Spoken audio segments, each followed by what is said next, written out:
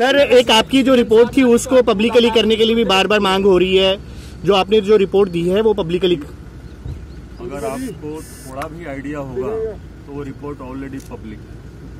क्योंकि चलान के रूप में जो अदालत में दिया जाता है वो पब्लिक डॉक्यूमेंट होता है वो ऑलरेडी पब्लिक जी। जो लोग ये कह रहे हैं कि उसको पब्लिक किया जाए उनको नॉलेज नहीं है वो तो ऑलरेडी पब्लिक है। जी। आज जो मैं आया हूँ हर महीने में आता हूँ और प्राइवेट कैपेसिटी में आया हूँ।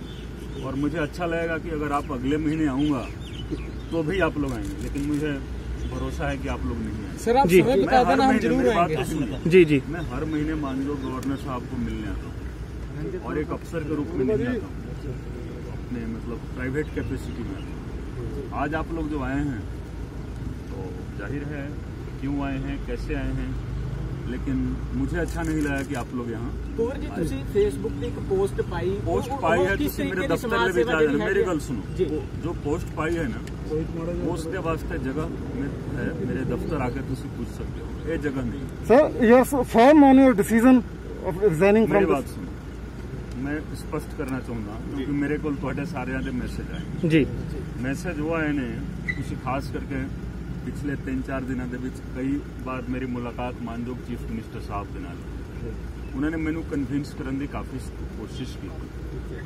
ਤੁਸੀਂ ਕਹਿ ਸਕਦੇ ਹੋ ਉਹਨਾਂ ਨੇ ਮਨਾਉਣ ਦੀ ਕੋਸ਼ਿਸ਼ ਕੀਤੀ। ਲੇਕਿਨ ਮੈਂ ਉਹਨਾਂ ਨੂੰ ਮਨਾ ਲਿਆ। ਮੈਂ ਮਾਨਯੋਗ ਸੀਐਮ ਸਾਹਿਬ ਨੂੰ ਮਨਾਉਣ ਦੇ ਵਿੱਚ ਕਾਮਯਾਬ ਹੋ ਗਿਆ ਤੇ ਉਹ ਐਗਰੀ ਕਰ ਗਏ। ਠੀਕ ਹੈ ਤੇ ਇਸ ਕਰਕੇ ਮੈਂ ਇੱਕ line he ਬੋਲਾਂਗਾ।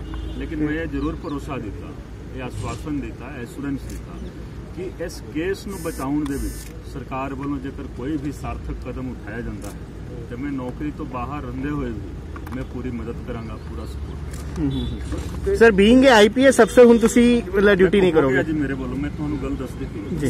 Thank you thank you